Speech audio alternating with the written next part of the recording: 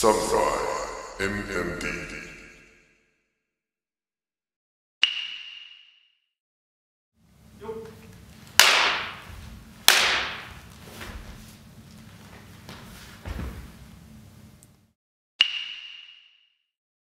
はい、で影抜きはちょっとこ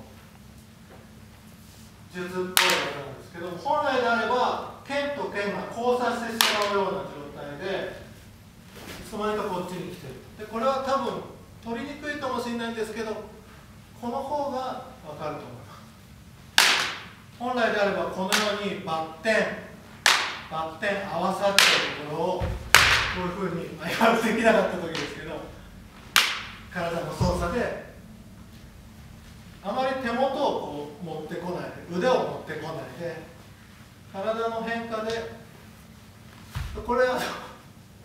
打ち立ちがいないと別にただこうやってるだけに見えると思うんですけど面白いことに剣を持って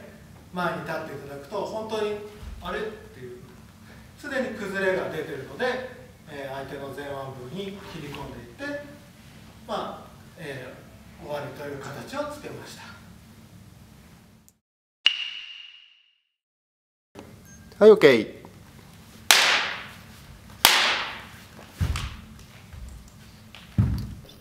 Ok.